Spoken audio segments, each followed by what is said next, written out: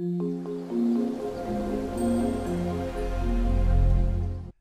welcome back. Uh, you made it to the end. Today is the last day. Uh, so I'm here with my campers again. Uh, better go ahead and uh, introduce them. Uh, so we got Keegan, of course, uh, wearing his campers t-shirt, by the way. Mom and Bowen and McKinley. You guys ready to go today? Yeah! All right. So what are we up to today? So today, what we're making is a game called Dragon Crossing. Uh, so I think Dragon Crossing is uh, best to show you. I think that's how things work best. So with Dragon Crossing, what we're going to do is we're going to um, try to get our dragon across the street, right? So our dragon can kind of go up and down, uh, and he can try to get to the street, uh, get to the top. Ah, and if you touch a car, you lose, uh, but it just lets you play again. Now you'll notice that whenever I did this play again, that everybody just kind of stopped. Oh no, I'm in trouble. Yes. Oh, I got hit. So close. Um, you'll notice that everybody just kind of stops whenever there's a win or a loss happens. And one of the things we're going to be doing today, there was a win. Uh, one of the things we're going to be doing today is communicating between our different actors. So this like very coordinated, uh, hey, everybody stop at the same time. Um, oh no, um, is something that we have to figure out in code how to do uh, and make happen. Um, also, I'll mention that your theme can be different from mine. So I've got a dragon crossing a road, but really it just has to be a hero uh, with enemies that move back and forth uh, and then a victory at the top. So if you wanted to do like planets or something crazy uh, with, with, something different color at the top, you could totally uh, do different things. Uh, so let's go ahead and see if we can uh, get started today. So I'm going to go ahead and make a new project. so I'm going to say create new project. Hopefully we're pretty good on this step. Every single time I go down to a block coding project, but I'm really sure that they are the same. So today I'm going to risk it. I'm just going to go with blank project. Woo! Uh, and let's go ahead and get started uh, with drawing some things. So the first thing I'll do is that I don't actually need my actor, uh, my monster, so I'm going to delete him. Um, and we've got to draw a stage. Um, our stage has to have whatever we want in the middle. I'm going to draw like a road scene. Um, it has to have a victory color at the top. Uh, for your victory color, it's nice to go and have a, a, pencil and paper handy so that you can write down what your victory color is. Um, and then we're also going to need to make um, four different like enemies. So let's go ahead and start off by drawing some. So click on the gear for the stage. Uh, click on add backgrounds. And then like we've done so many times, we're going to draw an image. And you kind of have to click on that twice. You have to click on the paintbrush and then the draw image. First thing I like to do is I like to make my uh, stage fit on my entire screen so I know I can see everything. Um, and I'm going to choose uh, to make like a green grass first. It's almost like I'm building a road. So first there's grass, uh, and then I'm going to put a road on top of it. Uh, so to make some green grass, uh, I'm going to pick a color, uh, a nice green here, and use my paintbrush tool, and I'm just going to fill it in all green. After that, I'm going to draw my road. Um, and again, you can draw something different if you want. Uh, you can draw at my pace. You can draw at your own pace. It doesn't really matter. But I'm going to draw uh, a gray road as a rectangle. Uh, I'm going to pick one of these grays, and I'm going to try to make it such that it takes up most of the space, but leaves some space at the bottom to where my hero can kind of like start off not just getting killed right out of the gate, right? Um, so there's a nice big rectangle.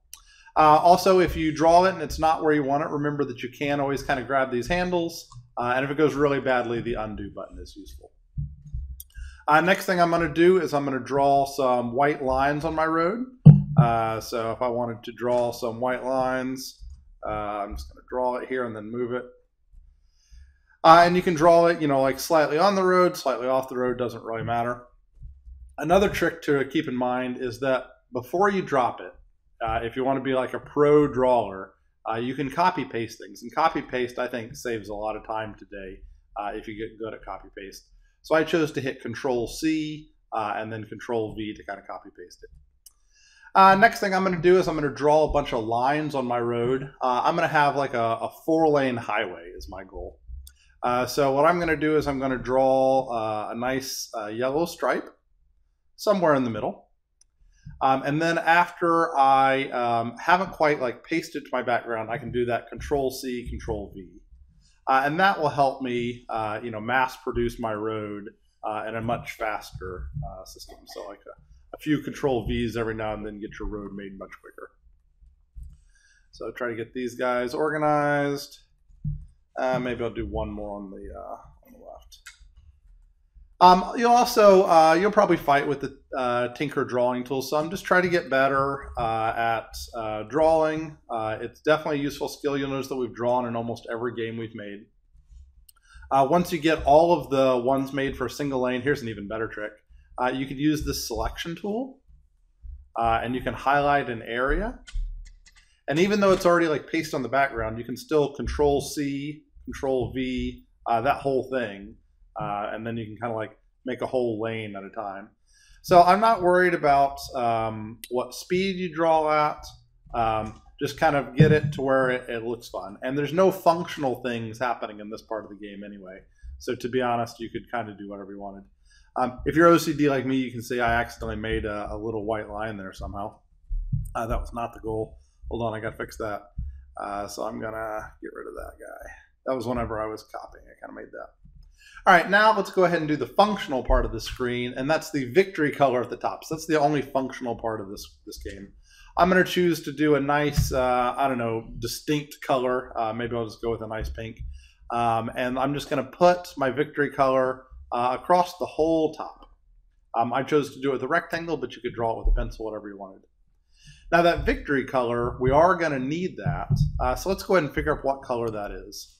Normally we have to eyedropper it to like select that color, but we've currently got it selected. So I'm just going to click on the multicolor wheel here and then hex. And then I'm going to write down that color. I actually used this color quite a bit, so I knew what this color was. Uh, it's FFOOD5. And I remember it because even though that's a, a zero, a zero, and a five, it kind of looks like the word foods to me. I don't know with two F's. So I actually have that one memorized, which is silly. Once you've got your stage drawn, you can go back and start adding some actors. Uh, you can add as many actors as you'd like. I'm going to choose to add four. Uh, and these are going to be your uh, your villains, right? Um, I think that since it's kind of a car theme, it'd be nice if uh, if I had a couple cars on here. Uh, maybe I'll put one of the um, yellow cars. Um, I think the City Life has a lot of good cars in it. Uh, here's a, a, neat little like orange race car. Um, it doesn't have to be cars though if you don't want. So for example, um, I think I had spaceships in my previous example. Uh, so whatever uh, you would like to do. Uh, but go through and pause the video. Uh, obviously, you probably had to pause it a couple times during the drawing phase initially. Uh, mine is kind of fighting with me here. I have to make it smaller. Um, and then I'll pick my last sprite uh, for the top.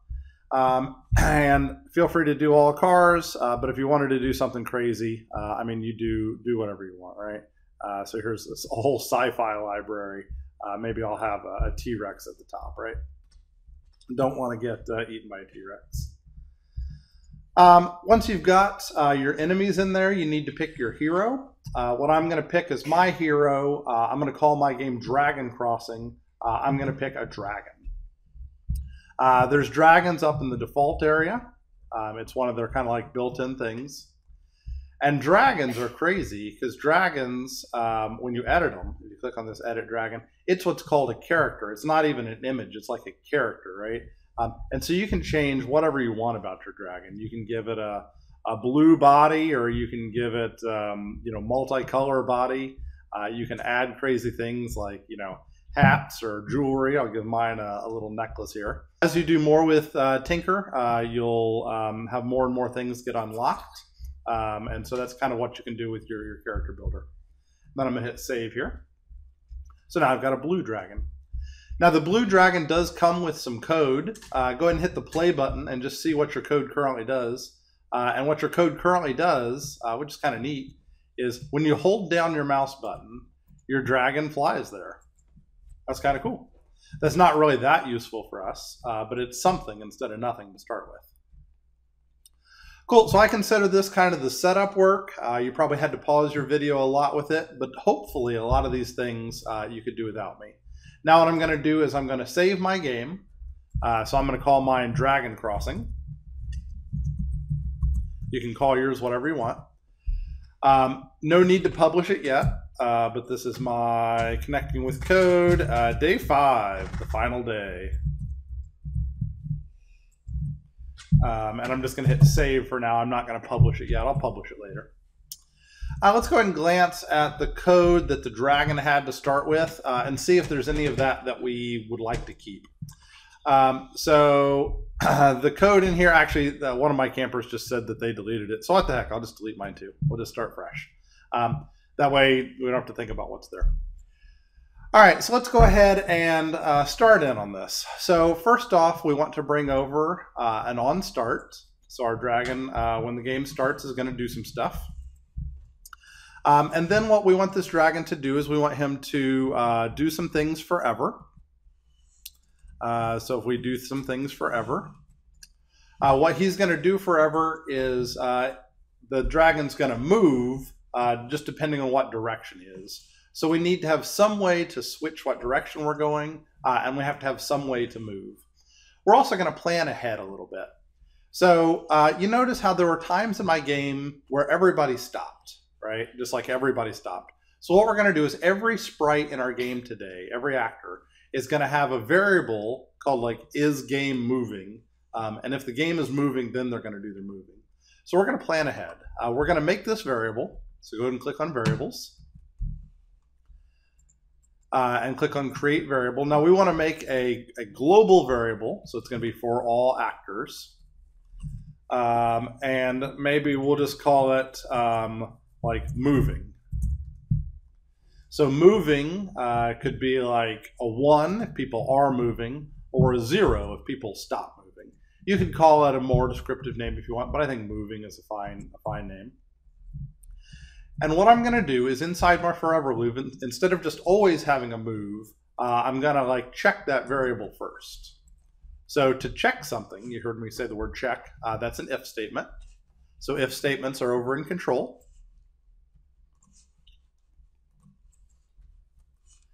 And so we're going to say if some condition, then run this code. And the code we're going to run is going to be movement.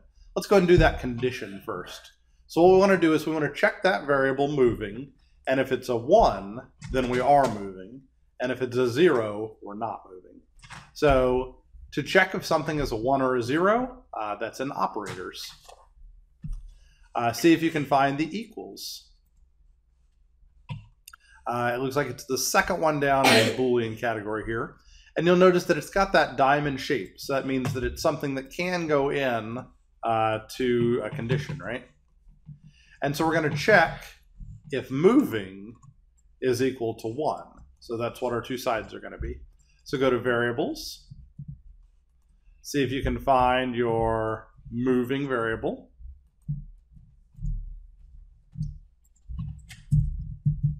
So if moving equals one, then uh, we're going to do some movement.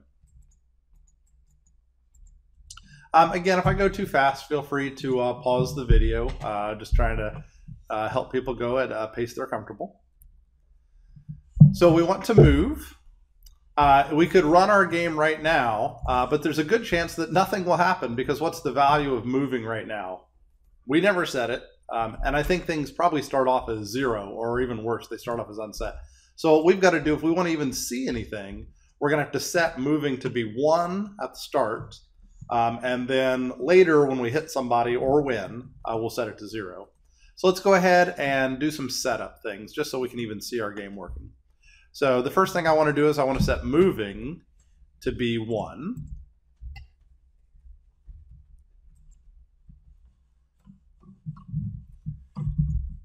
And so what this does is this will make my game be moving by default. Um, and later, if I want to make it stop, I'll, I'll set it to zero, right? Uh, while we're doing setup work up here, let's go ahead and do one more thing that I forgot to do earlier. Uh, and that is I want the dragon to only turn left and right. I don't want him to like turn his body up. Um, and so that's a command. We'll go ahead and put it in together, then we'll talk about it. Uh, it's in motion. It's called set rotation style.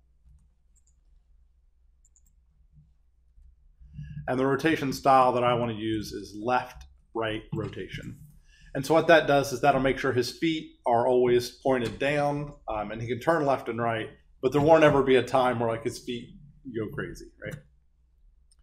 Now we could run it right now um, and our dragon would start moving. Um, and our dragon moved really fast uh, right off the screen. Um, I didn't mean for him to go that fast. Um, campers, and the idea, what did I forget to add uh, that'll slow it down some? You forgot to add a wait. Yeah, I forgot to add a wait. Uh, so I'm moving 10 pixels uh, infinitely fast. Uh, I was lucky I even saw my dragon. Um, so I need to add a delay, a wait. A delay is in the control area. It's near the bottom. It's about fourth up from the bottom. Uh, and you can drop it in here with your move 10 pixels. Now the delay that I like to use, I use this uh, in a lot of my games, it's 0.05, kind of a crazy number, uh, but it's 1 20th of a second.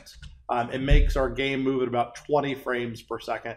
Um, and I find that that's um, a good a good number uh, to kind of make things uh, work about right. Uh, so if I run it now, uh, it's better. Uh, it's still not great. Uh, what happens is my my dragon kind of slowly glides off the screen. Um, well, that's interesting, uh, but isn't really what I was after. Um, so I want to do two things. One is when I get to the edge, I want to bounce back. So I'm going to add that. It's in motion. Uh, and it's if on edge bounce. You can put it wherever you want uh, in your code. I'm going to put it uh, right after the movement. And then also, I don't like how my dragon was kind of like just gliding, right? This is a character. It's got more advanced things than that. So I want my dragon to like look like it's walking or running or something like that. And so let's go into um, looks. Now there's two ways you can do this. I'm going to show you the, the way that I like to do it. Um, and I like to um, say um, switch to costume, um, run. Now, there's a couple different ways to do that. I think the uh, the code that came in actually used an animation, um, and so they they had like an animate run. I actually prefer this one, the switch to costume run, because it will stop instantly. Um, if you want to, someday you can play with both, uh, but this is the one that I want. So now uh, it should do uh, things better. Uh, it should have my dragon uh, animating, kind of like a, a, a switching to costume run.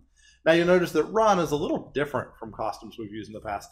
Run is actually a, a, list of costumes. So by calling switch to costume run, it actually does animate through different things. It doesn't just switch to one costume.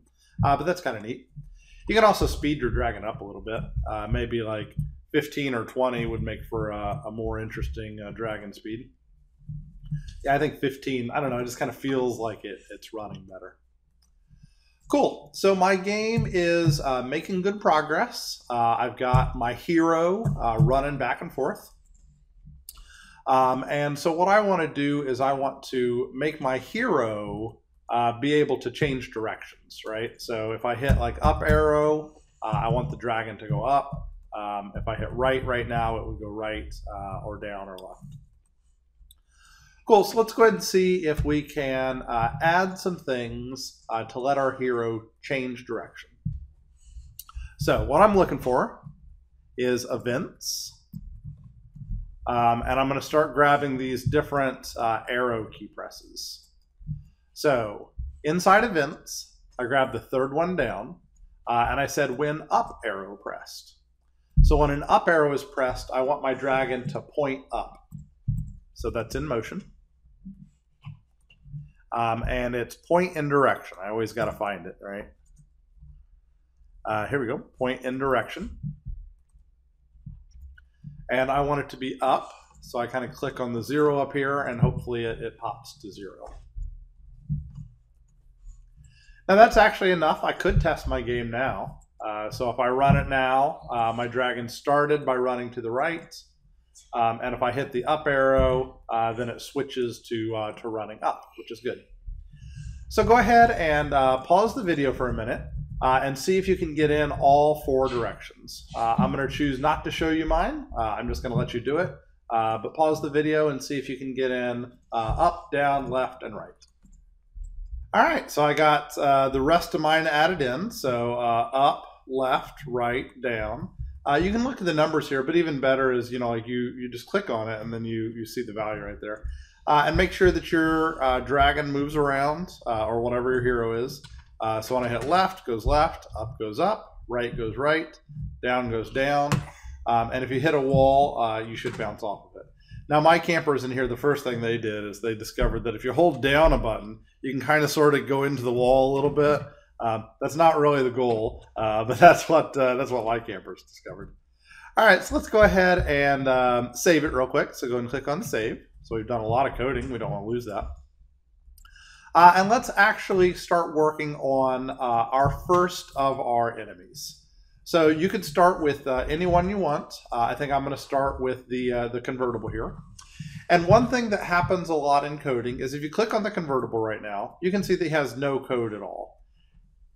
We could totally write their code from scratch. That would be no problem. Uh, but one thing that you do a lot in coding is go back to your hero again, go back to the dragon. If you think about this thread right here, just this thread, not, not all the wins, if you think about just this thread, this is actually pretty similar uh, to what the what the enemies are going to do because they're going to have to um, forever, if they're moving, move pixels and go back and forth. So what we're going to do is we're going to um, save ourselves some time. So I'm going to click on this little handle on the left of on start. And I'm going to take this block of code and I'm going to drop it onto one of these other sprites. So I'm going to drop it onto my blue convertible. Now, when that, uh, when you let go, like when you drop it there, it stays in the dragon. So it's not like you you you cut it out. But if you go to the convertible now, uh, you can see that you've got a lot of code to start with, which is which is cool. So there are some things that we don't want, right? There are some things that we're going to change, uh, but this saved us time, right? Um, and when you uh, when you do a lot of software development, uh, people people love to save time, right? So let's think about what's different in this.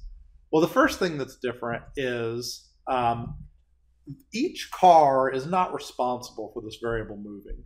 So I actually don't really, it doesn't do anything bad, but I don't really need this command uh, for each car. So what I'm going to do is I'm going to click on the right handle, and the right handle selects just that one, uh, and I'm just going to pop that one out. Now you could set it over here, that'd be fine, but I just don't need it at all, so I'm just going to drag it over to the trash can. Likewise, you'll notice that uh, my car here has this switch to costume run. That was for the dragon, right? A car doesn't even have a run. So I want to pop that out as well. Um, and again, you could set it over here if you wanted, but I don't really need it, so I'm just going to throw it in the trash. And the neat thing is, is that just by copying that code um, and uh, going here, uh, you can see that my uh, car is moving.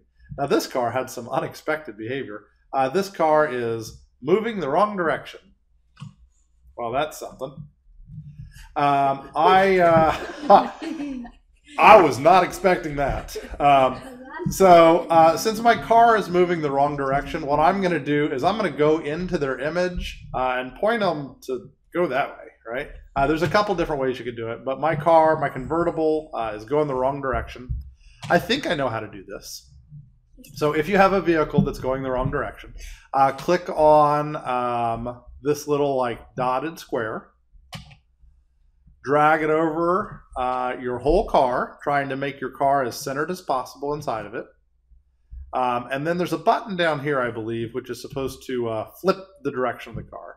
Um, I'll click click on it again, so you can flip uh, your car such that it's pointing to the right. That was uh, that was a very unexpected feature. Whenever I practiced this game, uh, it didn't come up, uh, so I flipped it to the right. All right, I think it's finally behaving properly now. Uh, so if I hit play, uh, my car is, is going the correct direction again. Super. All right, so a little uh, little stumble there. Uh, so let's go write some more code in him. So um, he wants to go back and forth. Uh, that's all true. But the convertible also has a job, and his job is to check to see if he's touching the dragon. Now the dragon could check to see if he's touching like the blue car and the yellow car and the orange car. He can check them all, but it's actually easier for the cars because they don't have to check for one thing. They just have to check for the dragon. So what I want to do is I want to check for the dragon. To check for something is an if statement. So I go into control uh, and I find an if statement. Um, and you can put this if statement in a couple different places. Um, I'm going to choose to put it right after the movement, right? So I move, um, and then I'm going to check, hey, am I hitting the dragon uh, right now? Uh, that if um, check right here, this is a sensing type of thing. So let's go into sensing.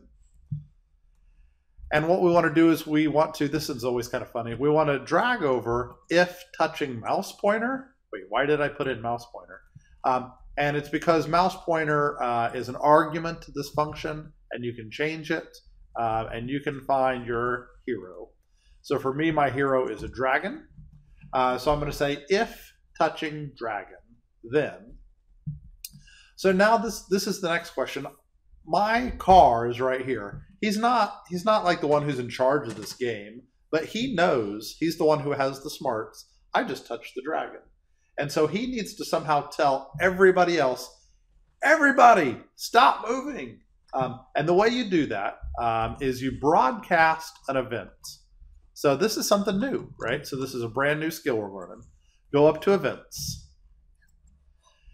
And events are things that happen, like an event is the game starts or an actor clicked. Um, but you can also make your own events. Uh, so scroll down a little bit until like you get into this events area and find the one that says broadcast and then has a little box next to it and drag it and put it inside here.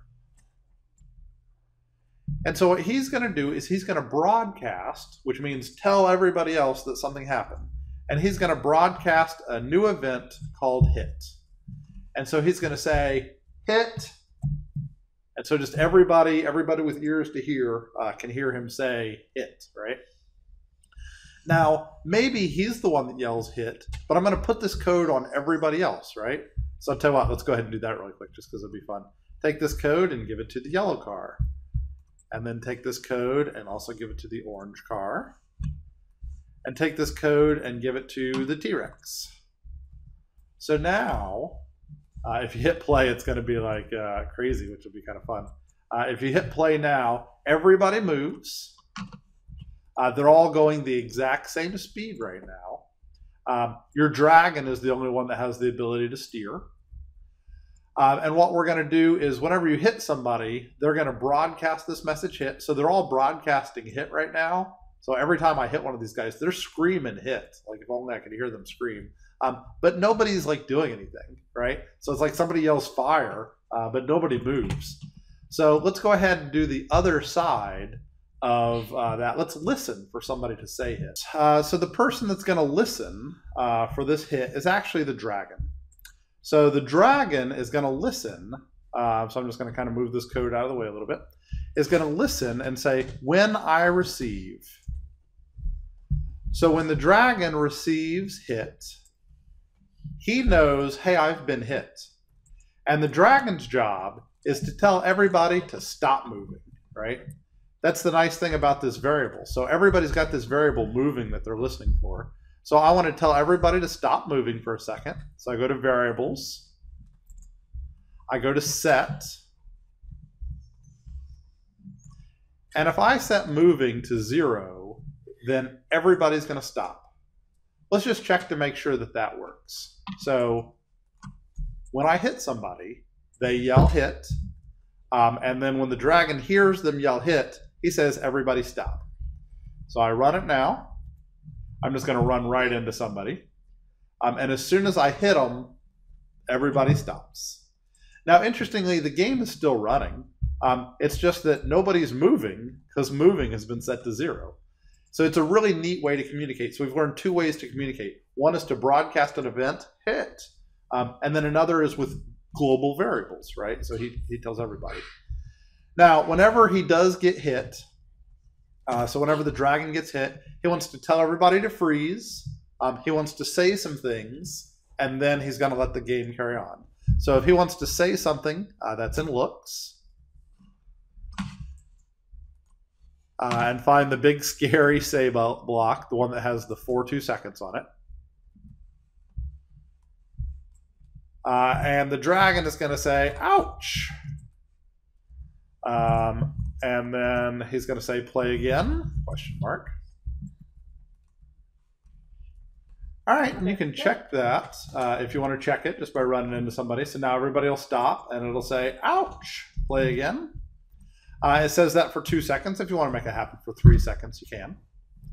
And then what I want to do is I want to reset the game um, before I restart playing again, right? So to reset the game, what I want to do is I want to move my dragon back to a good starting spot.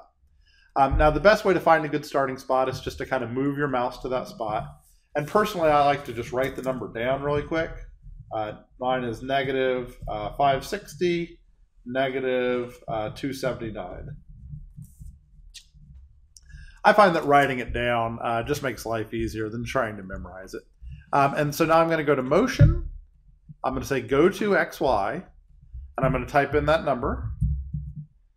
Uh, I think I'm going to type in 280 just because I always like nice round numbers instead of 279.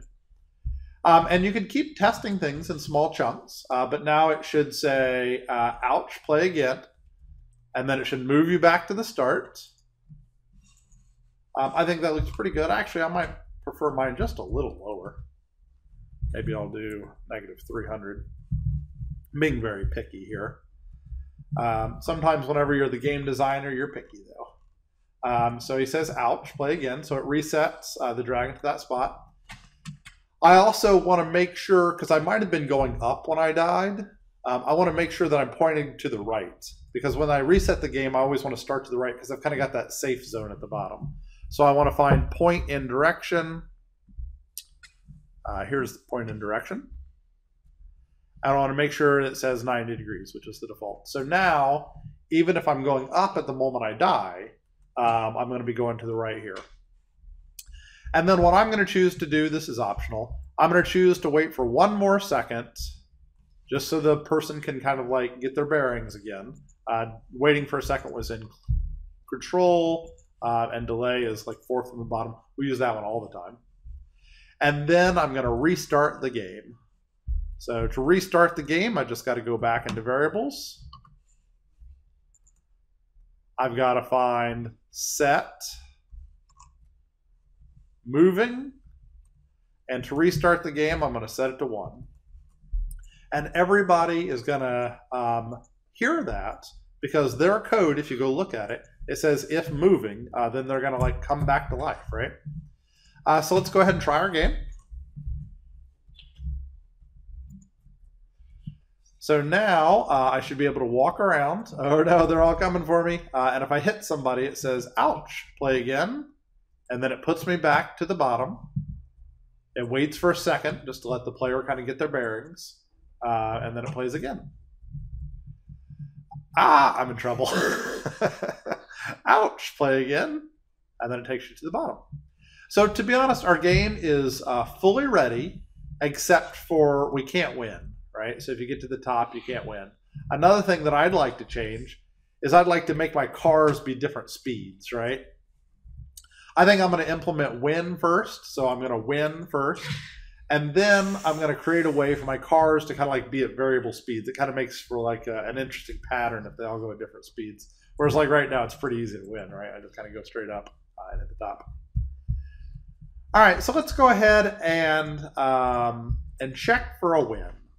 So to check for a win, my dragon uh, has to check if they're touching that color at the top. So a check is an if statement. So go into an if statement.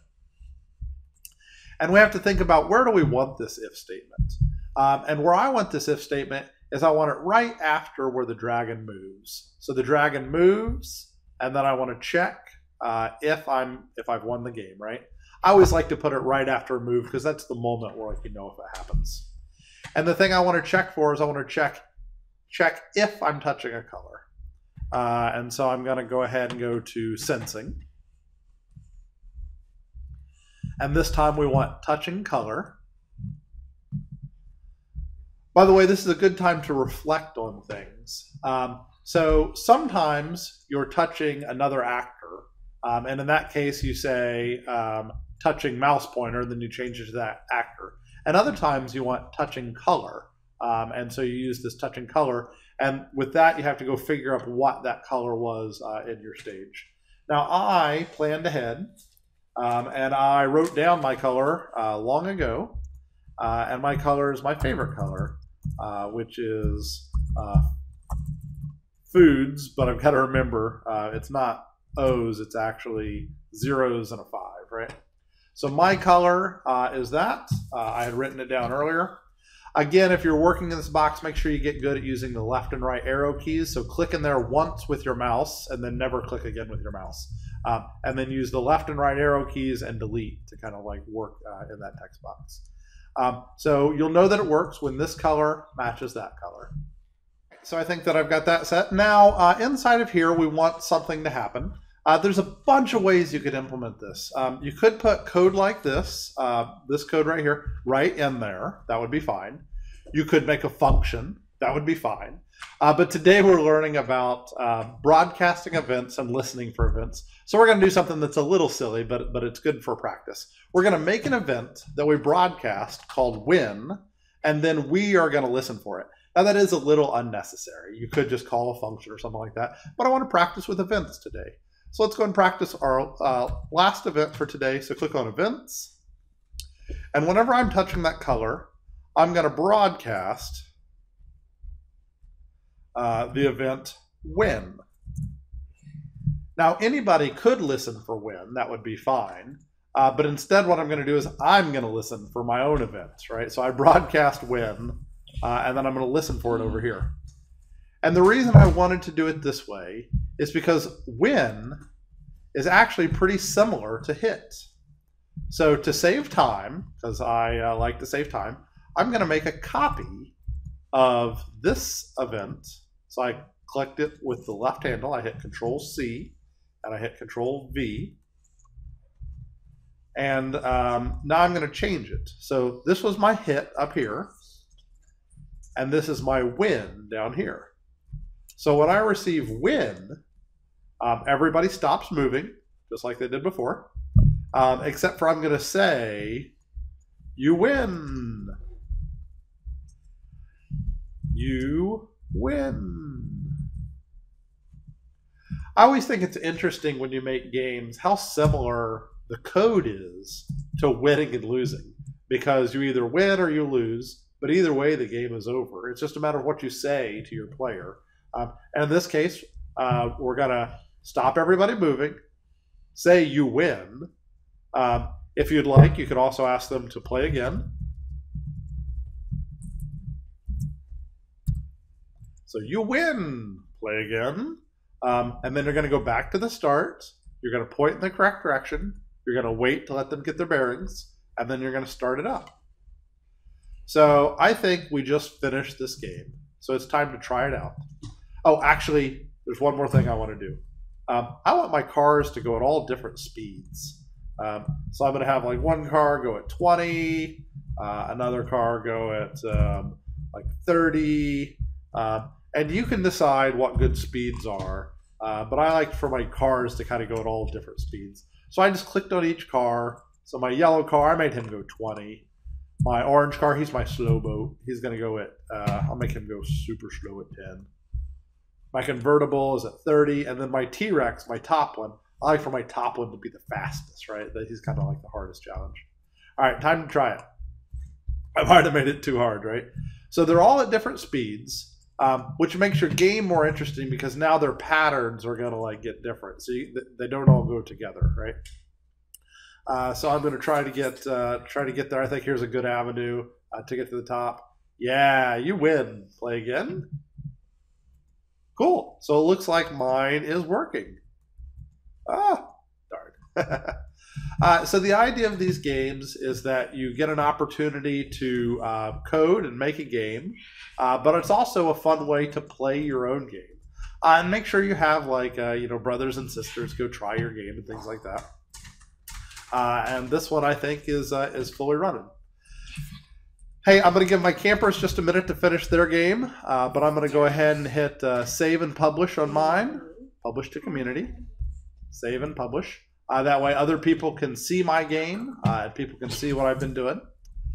I'm going to come around and show my other campers uh, and their games. Hey, but I'm going to mention um, the extra project today if you want. The extra project is a separate video. I'm just going to kind of mention what it is. Um, it's to try to practice with functions, um, and it's to try to make a US flag. So I'm just showing this. Um, there's a whole nother video for it. It's an extra thing that you can do uh, that uses functions. So that is uh, another video that you could watch if you wanted. All right, so I'm going to go around and see how uh, my campers did on this. All right, Keegan, are you ready to go?